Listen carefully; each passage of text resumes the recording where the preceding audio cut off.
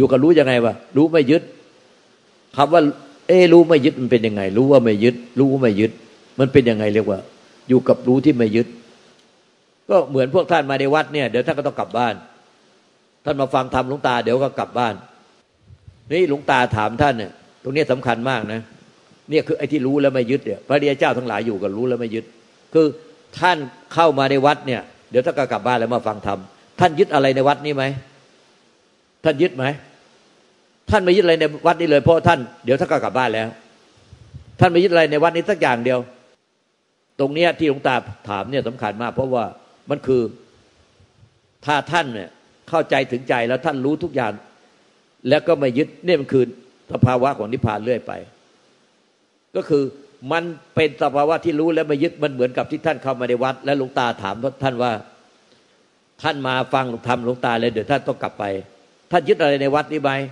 ท่านบอกว่าไม่ยึด ท่านพูดได้ทันทีเลยว่าไม่ยึดว่าเดี๋ยวก็กลับบ้านแล้ว ไม่ยึด ท่านไม่ยึดอะไรในวัดนี่เลย หลวงตาถามท่านว่า ท่านตอบได้ทันทีเลยว่าไม่ยึด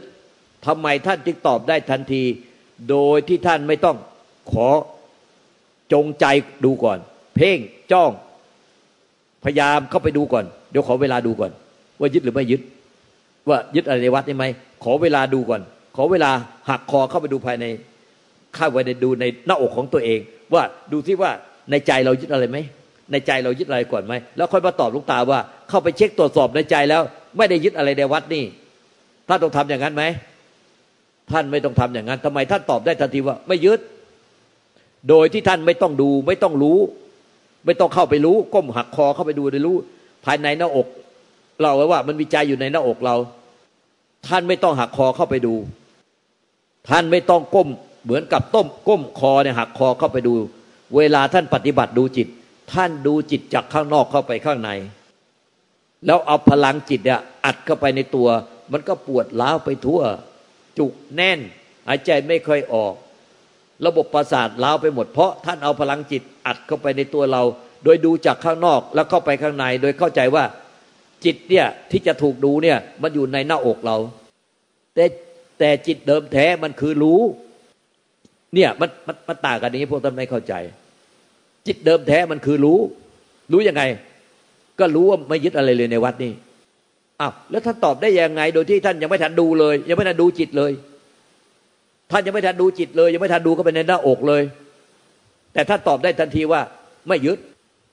ท่านรู้ได้ย่างไงว่าไม่ยึด ไอ้ที่รู้ว่าไม่ยึดแต่ตอบได้ทันทีเนี่ยมันมันคือนิพพานธาตุมันมีอยู่แลนในทุกสรรพสัตว์ท่านยังไม่นิพพานยังไม่ได้เป็นท่านมีความรู้สึกว่าท่านยังไม่นิพพาน แต่ความจริงธาตุนิพพานมันมีอยู่กับท่านอยู่แล้ว เพราะว่าท่านไม่รู้จักมันว่ามันคือนิพพานคือไอ้ที่ท่านรู้ว่าไม่ยึดนี่แน่มันคือนิพพาน เพราะท่านไม่รู้จักมัน เดินผ่านคนที่ไม่รู้จักกี่ครั้งก็ไม่รู้จัก เพราะว่าไม่รู้จักกัน แต่ก็บอกว่าคนที่เดินสวนผ่านกับท่านเนี่ยคือหลวงตาอ้าวเหรอ โอ้โหเราฟังไฟเสียงตั้งนาน ไม่รู้ว่านี่คือหลวงตาเหรอแล้วก็วิ่งมากราบกัน เนี่ยแบบเดียวกันเพราะไม่รู้จักท่านไม่รู้จักธาตุรู้ที่เป็นนิพพาน ทุกคนทุกชีวิตตั้งแต่พระเจ้าปัจเจกพระเจ้าบาลันสาวก และบุตรชนสัตว์เดรัจฉานสรรพสัตว์ทั้งหลาย มีธาตุรู้นี่แล้วอยู่ประจำไม่งั้นหมามจะรู้หรือว่ามัน อันนี้เจ้าตอนนี้เจ้านายมันลมเสีย มันไปห่างๆดีกว่าหมาแมวมันรู้นะเจ้านายมันวันนี้อารมณ์เสีย มันไปห่างๆ พอเจ้านายอารมณ์ดีมันก็เข้ามาเขาเขาขอเกยใกล้ๆมันทำไมจะไม่รู้ เนี่ยธาตุรู้เนี่ยนิพพานธาตุมันมีอยู่ในสรรพสัตแต่สรรพสัตทั้งหลายไม่รู้ว่านี่คือธาตุรู้มันเลยเป็นอวิชชาเรื่อยไป แล้วก็ไปหลงยึดเอาสังขารปรุงแต่ง แต่ไม่ได้อยู่กับรู้ที่ที่รู้ว่าไม่ยึด นั้นพวกท่านมีหมดแล้วท่านมาในวัดเนี่ยพอถามพวกท่านว่า ท่านยึดอะไรในวัดนี้ไหมท่านมาฟังธรรมเดี๋ยวท่านก็กลับแล้วก็บอกไม่ยึดตอบได้ทันที ท่านตอบได้อย่างไรโดยที่ท่านยังไม่ทันจะดูจิตเลย ยังไม่ท่านจะดูเข้าไปในตัวเลย ยังไม่ได้หักคอเข้าไปเช็คตรวจสอบภายในตัว และท่านยังไม่ได้ดูจิตเลย เนี่ย แต่ท่านรู้แล้วว่าท่านไม่ยึด ไอ้ที่รู้ว่าไม่ยึดเนี่ย ถ้าท่านไม่ยึดทุกอย่างเลย ทุกปัจจุบันท่านไม่ยึด อันนั้นก็เป็นนิพพานเรื่อยไป อันเนี้ยลูกตาเปรียบเฉยๆเฉพาะว่า ท่านไม่ยึดอะไรในวัดนี้ แต่ท่านกลับไปบ้านท่านก็ไปยึดที่บ้าน แต่ที่ในวัดเนี่ยท่านไม่ยึดอะไร แต่กลับไปบ้านท่านไปยึด ท่านจะต้องรู้ว่า ท่านจะต้องรู้ว่า รู้แก่ใจว่าไม่ยึดอะไรสักอย่างหนึ่งเนี่ยมันคือนิพพาน แต่คนหลายคนฟังแล้วเข้าใจผิดว่าอ๋อต้องจำสภาวะที่ไม่ยึดไว้ แล้วพยายามประคองเหมือนประคองขัน ขันที่ใส่อะไรเต็มๆแล้วประคองไม่ให้มันหก คือว่าโอ้โหไม่ยึดมันเป็นแบบนี้เหรอมันสุขสบาย มันว่างมันสงบ มันเบา อันนั้นไม่ใช่รู้ไหมมันไม่ใช่มันเป็นผลของที่รู้แล้วไม่ยึด มันเลยสุขเลยสบายเลยว่างเลยสงบ ตอนนี้หลายคนก็พยายามประคองว่าทำไมมาอยู่วัด มาวัดที่ไรมาหาหลวงตาแล้ว มันสุขสบาย มันว่างเปล่า มันสงบง่ายกลับบ้านหายทุกที ก็ท่านประคองกลับไปอะ เหมือนกับประคองอะไร ของที่มันใส่เต็มๆน่ะใส่น้ำเต็มๆใส่อะไรท่านประคองไปน้ำใส่แล้วก็รถมันก็กระชอกกระชอกกระชอกกระชอกกระชอกกลับถึงบ้านก็กระชอกหมดแล้วแต่ขัน แล้วท่านก็บอกว่าทำไมมันประคองไม่อยู่กลับไปแล้ว มันไม่สงบมันไม่ว่ามันไม่นิ่งมันไม่สบาย ท่านไปจับผลมัน แต่ท่านไม่รู้ว่า ที่ท่านอรหันต์ทั้งหลายเนี่ยท่านอยู่กับรู้เนี่ย ก็คือไอ้รู้แล้วรู้ว่าไม่ยึด รู้ว่าไม่ยึดมันเป็นแบบนี้ รู้ไม่ยึดเป็นแบบนี้ กลับไปบ้านก็รู้กันอยู่นี่รู้สามีก็ไม่ยึดรู้ลูกก็ไม่ยึดอ๋อไอ้รู้แล้วไม่ยึดมันเป็นแบบนี้สังเกตให้มันออกว่าไอ้รู้มายึดเนี่ยมันเป็นธรรมชาติประจำอยู่แล้ว มันเป็นประชาติประจำอยู่ในตัวเราประชาติประจำจิตแล้ว ไอ้รู้มายึดเนี่ย มันมีอยู่แล้ว ก็นี่ก็รู้เนี่ยถามปุ๊บตอบได้ทันทีทั้งที่พวกท่านก็รู้ตัวว่าพวกท่านไม่ได้เป็นอรหันต์แต่เพราะท่านไม่รู้จักว่ารู้มายึดเป็นไงก็เลยพยายามเปรียบเทียบไปฟังว่า เนี่ยท่านมาวัดเนี่ย แล้วเดี๋ยวท่านก็กลับบ้านแล้วมาฟังธรรมเดี๋ยวท่านกลับบ้าน ท่าน ท่านยึดอะไรในวัดนี่ไหมท่านตอบได้ทันทีว่าไม่ยึดท่านรู้ได้ยังไงว่าท่านไม่ยึดท่านตอบได้ทันทีรู้ได้ยังไงว่าท่านไม่ยึด ก็รู้กันแล้วกันว่าไม่ยึด ก็ท่านยังไม่ได้ดูมองเข้าไปในหน้าอกเลยว่าเนี่ยมองจิตในหน้าอก หรือมองจิตเนี่ยท่านยังไม่ได้ดูจิตเลย แต่ท่านตอบทำไมตอบได้ทันทีว่า ท่านยังไม่ได้ดูจิตเลย ไม่ยังไม่เข้าไปก้มดูจิตดูใจเลย แต่ทำไมท่านตอบได้ทันทีว่าไม่ยึด ตรงเนี้ย ท่านต้องตอบเอง ท่านตอบได้ยังไงทันทีว่า ท่านรู้ได้ยังไงว่าไม่ยึด รู้ไม่ยึด รู้ได้ทันทีเลยไม่ยึด รู้ว่าไม่ยึด รู้ว่าไม่ยึด รู้ว่าไม่ยึด ถ้าตอบได้ยังไงว่า รู้ว่าไม่ยึดกันแล้วกันในวัดเนี่ย เดี๋ยวก็กลับบ้านแล้วมาฟังธรรมเดี๋ยวกลับบ้าน รู้ว่าไม่ยึดกันแล้วกัน รู้ว่าไม่ยึดกันแล้วกัน รู้ได้ยังไงวะยังไม่ทันดูอะไรเลย ยังไม่ทันดูจิตดูใจเลยบอกแล้วว่ายึด ยังไม่ทันดูเลย เห็นไหม พวกท่านปฏิบัติ ดูเอาดูเอา แต่ไม่รู้ตัวเองยึดไม่ยึด ดูอะไรวะ ดูอาการของจิต แต่มันไม่ใช่รู้โดยไม่ยึด แต่มันไปดูอะไรดูอาการของจิต ไล่ดูอาการของจิตแล้วทำไมมันนิ่งๆเฉยๆไปคิดอะไร เออเออเออเออมันใช่ไหมอย่างนั้นน่ะไอ้จิตเดิมแท้มันคือรู้แล้วไม่ยึด รู้ว่าไม่ยึด รู้ว่าไม่ยึดนี่แน่มันมีอยู่ในทุกสรรพสัตว์พวกท่านยังไม่ได้เป็นอรหันต์เลย แต่ถามพวกท่านว่า ท่านรู้ได้ไงว่ารู้ว่าไม่ยึด รู้ว่าไม่ยึดเนี่ยท่านรู้ได้ไงว่ารู้ว่าไม่ยึดไอ้นี่มันคือนิพพานธาตุที่มันมีอยู่กับท่านโดยทั้งที่ยังไม่เป็นอรหันต์เลย แต่นิพพานธาตุเนี่ยมันคือมันคือธาตุนิพพาน และเมื่อท่านเมื่อไหร่ที่ท่านอยู่กับรู้แล้วไม่ยึด ได้ทุกอย่างเลยทุกปัจจุบันขณะเออไว้รู้ไม่ยึดรู้ว่าไม่ยึดมันเป็นแบบนี้เว้ยรู้ว่าไม่ยึดมันเป็นแบบนี้ ท่านกลับไปบ้าน ท่านก็รู้ว่าไม่ยึดผัว ไม่ยึดลูก แต่ก็ทำหน้าที่เป็น ภรรยาอยู่ทำหน้าที่เป็นแม่อยู่ แต่ท่านไม่ยึด เพราะว่ารู้แล้วว่าไม่ยึดความยึดมันเป็นยังไง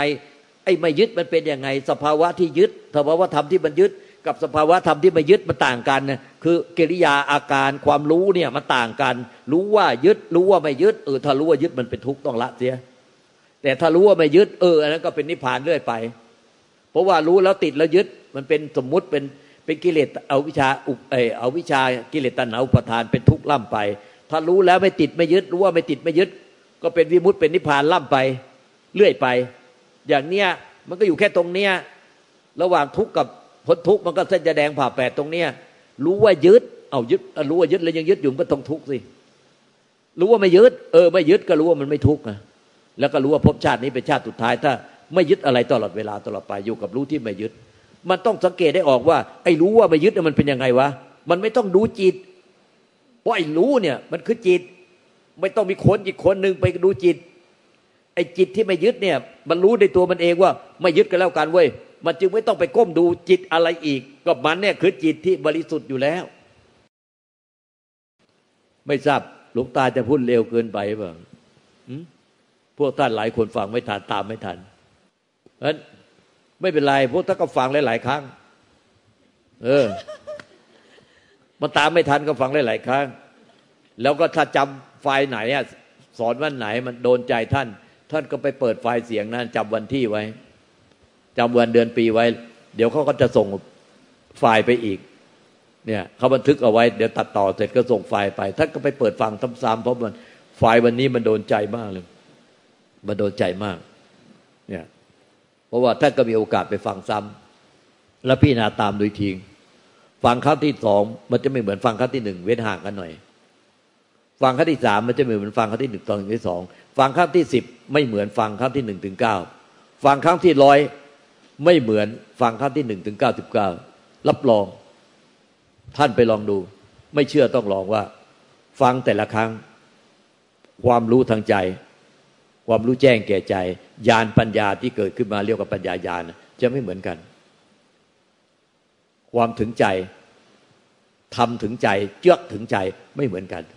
บางทีคำคำเดียวท่านฟังข้ามไปได้ยังไงไม่รู้พอย้อนกลับไปทีหนึ่งไอ้คำเนี้ยคำเดียวเนี่ย มันทำให้ท่านน้ำตาร่วงได้ เจือกถึงใจน้ำตาร่วงได้ เอ้าเราฟังต่อหน้าลูกตา ฟังเขาก่อน มันก็ฟังไปแล้ว แต่ทำไม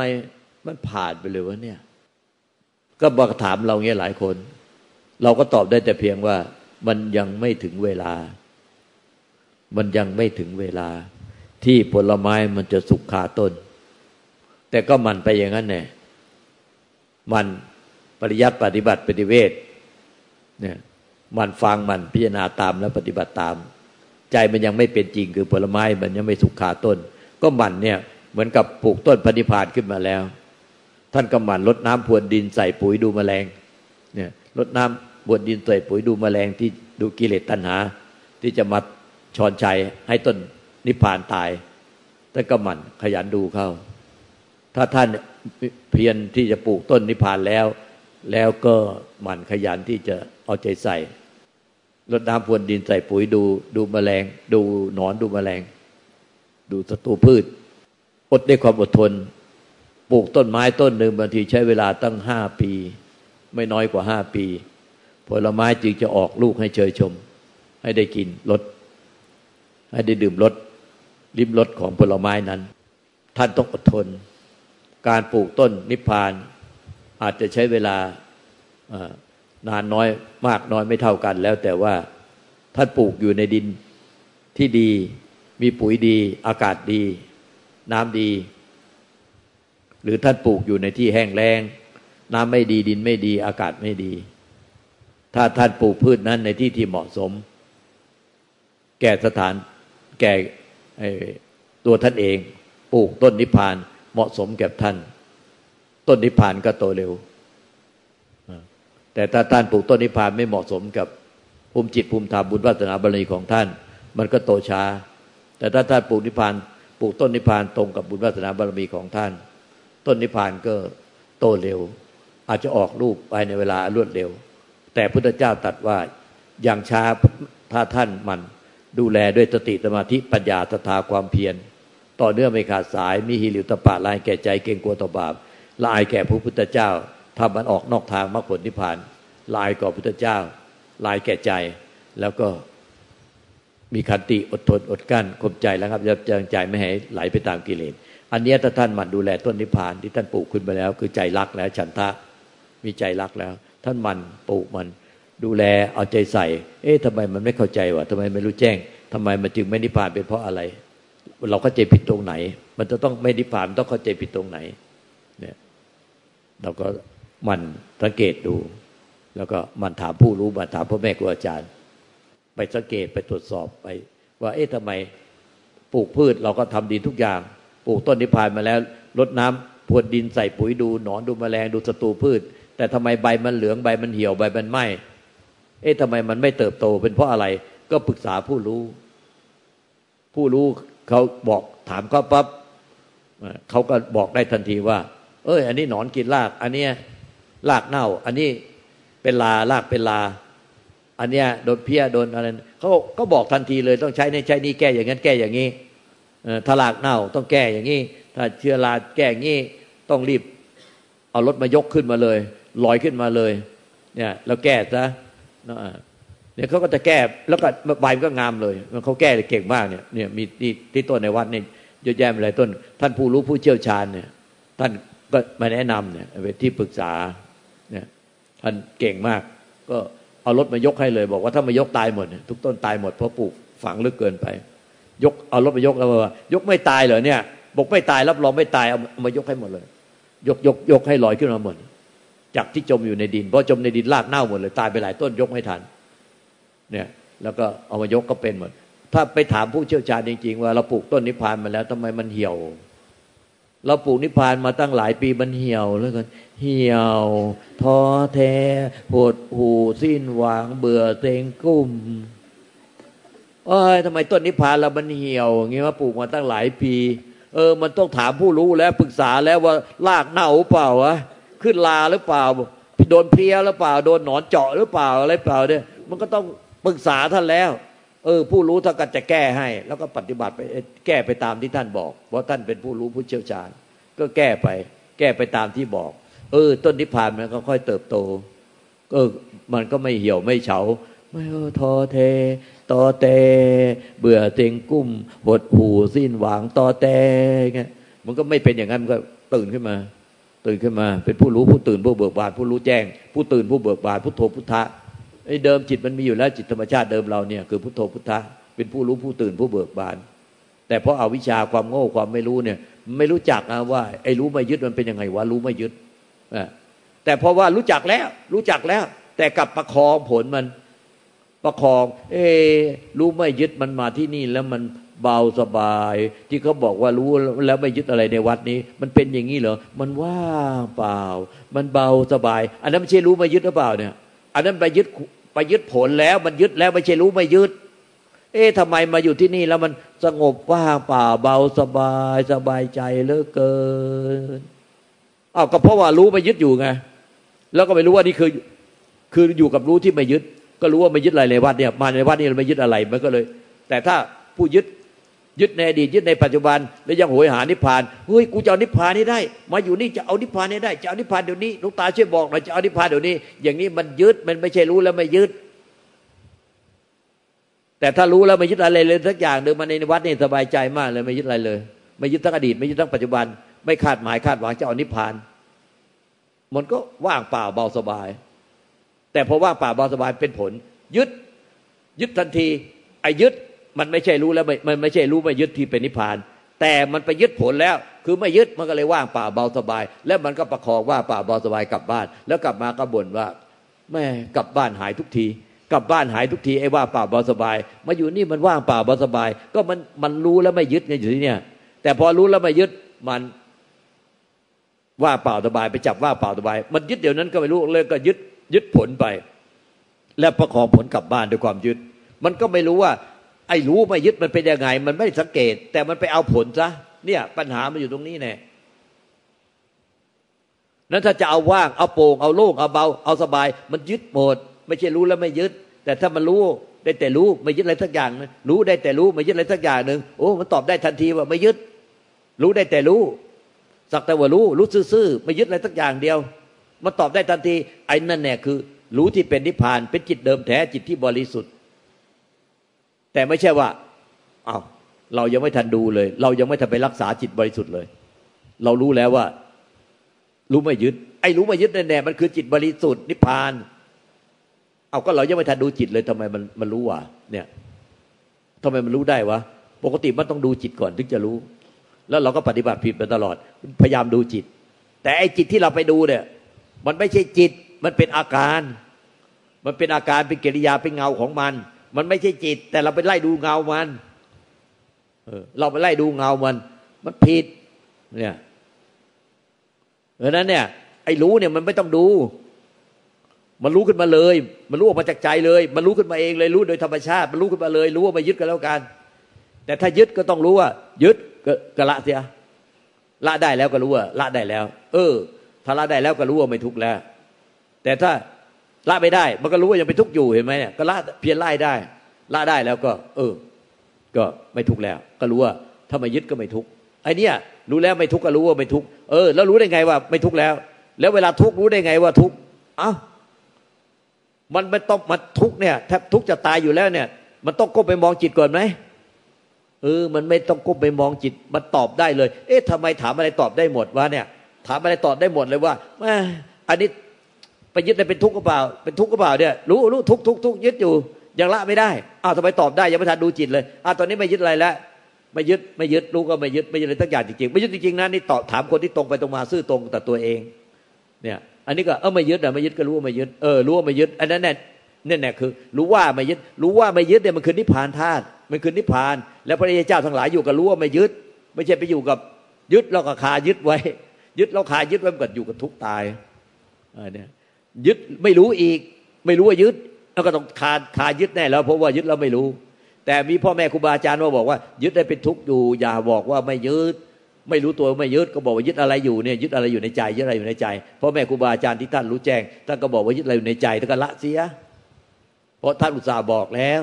ก็เราก็ละเสียพอละเสียอ้าวละได้เออมันมันว่างเปล่าเบาสบายพราะว่างเปล่าเบาสบายรู้เปล่า ว่ามันหลุดจากยึดแล้ว รู้แล้วรู้ได้ไงโดยทันไม่ทันดูจิตเลย ก็มันรู้ก็แล้วกัน ตอนทุกข์รู้ไหมอ่ารู้แล้ว ตอนนี้รู้ว่ายึดแล้วเป็นทุกข์ไม่ยึดไม่ทุกข์อ๋อเป็นแบบนี้อ๋อไอ้ที่รู้ว่ายึดแล้วเป็นทุกข์รู้แล้วไม่ยึดว่าไม่ไม่ยึดมันไม่ทุกข์รู้ว่าไม่มีผู้เสวยเออตอนนี้รู้แล้วไม่มีผู้เสวย เลยเบื่อหน่ายกับการที่ไปเสวยไปยึดได้เป็นทุกข์เรียกว่านิพพิทายานวิลาคะหมดยางเหนียวต่อทุกสรรพสิ่ง แล้วอยู่กับรู้ที่ไม่ยึดดีกว่า สบายใจแห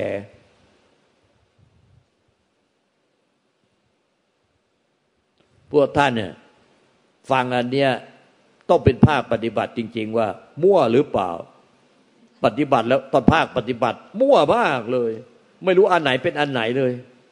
จับแต่ผลยึดแต่ผล ไม่รู้ว่า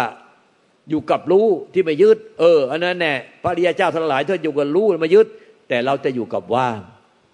มันคนละตัวกันเลย เราอยู่กับว่าง แล้วคอยเข้ามาแล้ว หลังไม้ชูมือขึ้นฟ้าคันแอบเข้ามาแล้ว ตอนนี้ว่างยัง ตอนนี้ว่างยังบอกอยู่กับรู้ว่ายึดหรือไม่ยึด แต่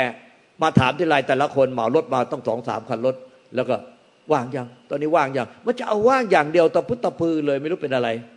มันยึดอยู่เนี่ย ยึดว่างอยู่ในใจอะ หมายว่างอยู่ไอ้เนี่ยไอ้ที่ท่านบอกว่าว่างเปล่าว่างเปล่าคือว่างจากผู้ยึด ว่างจากความยึดถือ ว่างเปล่าจากความยึดถือก็ว่างเปล่าจากผู้ยึดถือนั่นแน่ เออ มันจึงไม่มีผู้ยึด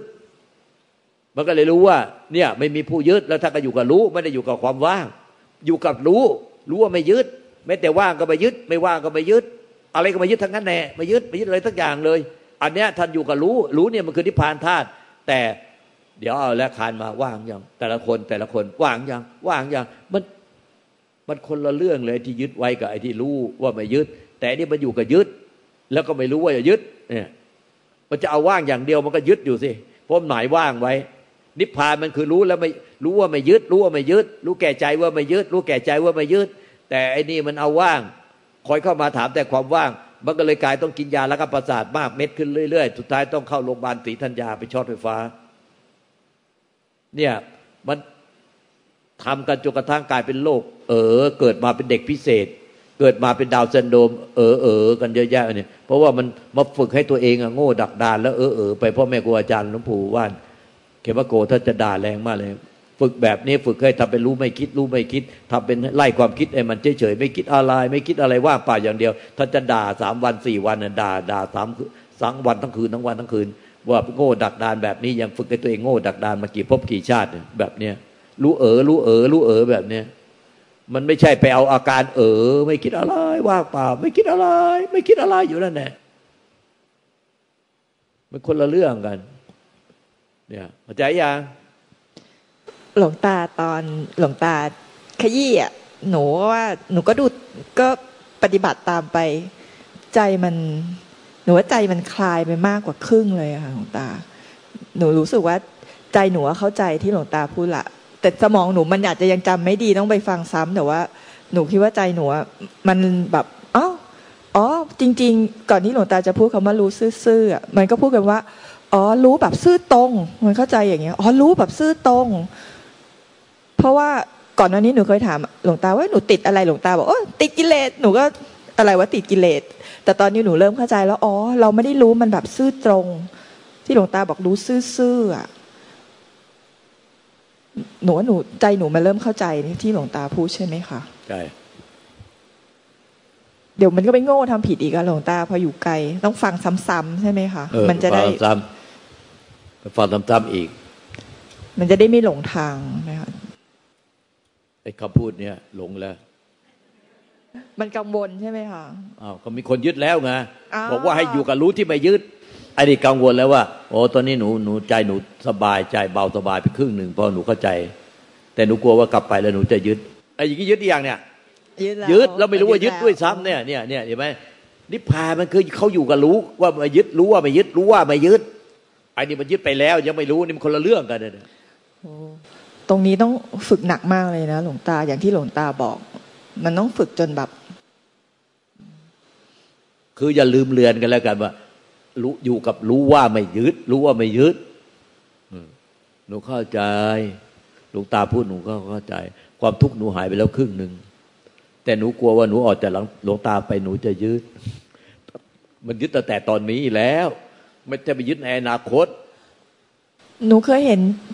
คือจิตมันมีธรรมชาติยึดตลอดเลยหลวงตาขนาดเนี่ยหนูเข้าห้องน้ำเนี่ยแล้วหนูก็แบบเห็นอ๋อน้ำมันจะหมดถังหนูทำเปิดน้ำหยดไว้อะ แค่เปิดน้ำหยดไว้นะ ใจมันก็รู้สึกเนี่ยทำเราทำดีละ แค่นี้มันก็ยึดแล้วหลวงตา แล้วหนูมันก็ดีใจนี่เหมือนกับว่าเออเนี่ยมันได้ทำประโยชน์ เดี๋ยวเดี๋ยวเดี๋ยวเปิดแค่เปิดน้ำแค่นี้ไว้ก็เออก็ก็ดีใจแล้วอ่าดีใจแล้วได้ทำประโยชน์ แค่นี้หนูก็ยึดแล้วหนูก็ยึดหลูกตาหลูกตาถามหน่อยว่า รู้ได้รู้ได้ยังไงว่ายึดอีก อีกวันหนึ่งอะหนูถึงได้เห็นว่าหนูดีใจตัวเนี้ย กว่าหนูจะเห็นอีกวันหนึ่งหลวงตา ก็ไม่เป็นไรจะเห็นตอนไหนก็ก็เห็นตอนไหนก็ตอนนั้น แต่ต้องการต้องการที่สุดคือ รู้ว่าได้ไงว่ายึด มันเห็นความคิดนี้ขึ้นมา เหมือนกับความคิดนี้ขึ้นมาซ้ำๆมารูปๆคำๆว่าเนี่ย มันดีใจแต่มันไม่เห็นว่ามันดีใจ หนูอยู่ๆความคิดนี้มันขึ้นมา หนูก็เลยเห็นอ้าวมันยึดตรงนี้นี่หว่ากิริยามันต่างกันระหว่างเนี่ย ยึดมันเป็นทุกข์กับไม่ยึดมันไม่ทุกข์แต่นิพพานมันเหมือนกัน มันคือรู้อันเดียวกัน รู้ว่ายึดกับรู้ว่าไม่ยึดมันคือรู้เดียวกันจึงถามท่านว่า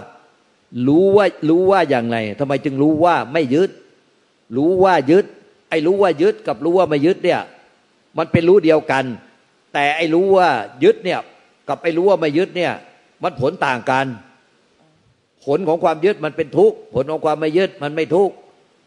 แต่ไอ้ที่รู้ว่ายึดกับไอ้ที่รู้ว่าไม่ยึด อันนั้นมันอันเดียวกันมันคืออันเดียวกันรู้เดียวกันคือได้แต่รู้ว่า รู้ว่ารู้ว่าขึ้นมาเลย โดยที่ไม่ได้ต้องหันไปมองไม่ต้องอะไร มันรู้แก่ใจไปเลยว่ารู้แก่ใจว่ายึด รู้แก่ใจไม่ยึด แต่กิริยาการไปยึดเนี่ยมันเป็นทุกข์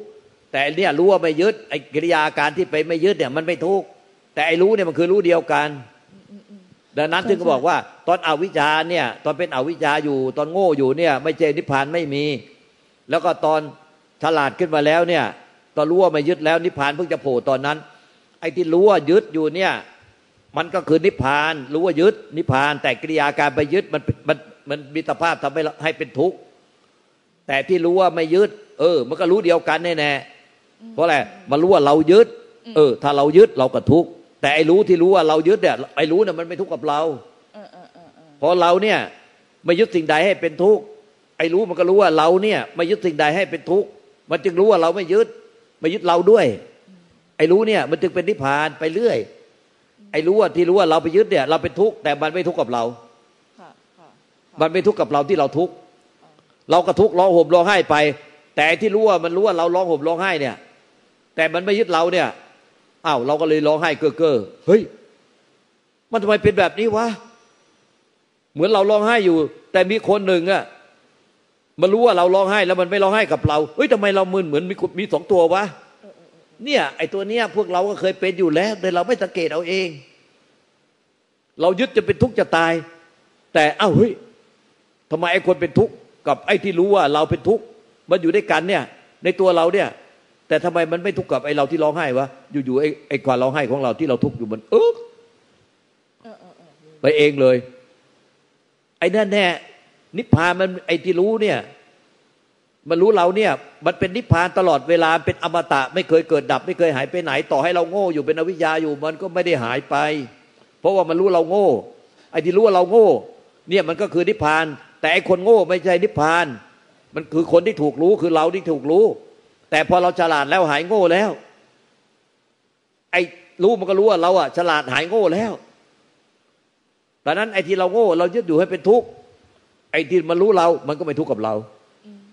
เราฉลาดแล้ว เรานิพพาน มันก็รู้ว่าเรานิพพานแล้ว มันก็ไม่ได้ดีใจกับเรา แต่ไอ้คนนิพพานดีใจ ว่ารู้แจ้งแล้ว แต่ไอ้ที่รู้มันรู้ว่าเรานิพพาน มันไม่ได้ดีใจเสียใจกับเรา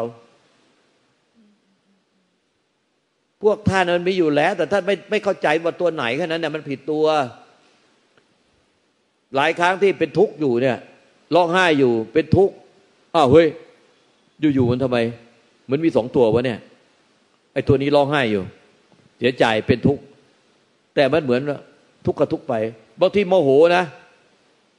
โมโหโมโหมากโมโห แต่มันเหมือนอีกตัวหนึ่งอะ มันไม่โมโหตามไอ้ที่โมโห